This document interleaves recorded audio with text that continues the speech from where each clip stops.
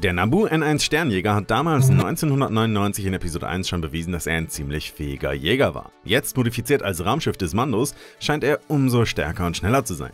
Als diese Jäger das erste Mal von den Nabu in Auftrag gegeben wurden, war das aber wohl nicht das einzige Kriterium, das der Jäger erfüllen sollte.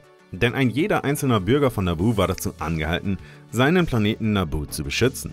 Und zwar nicht nur die Bewohner des Planeten, sondern auch den Planeten als solches.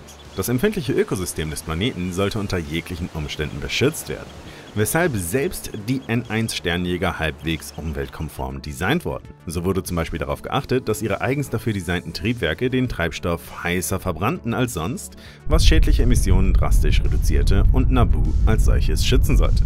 Ob das aber bei Mandos modifizierten N1 auch so ist, wage ich stark zu bezweifeln.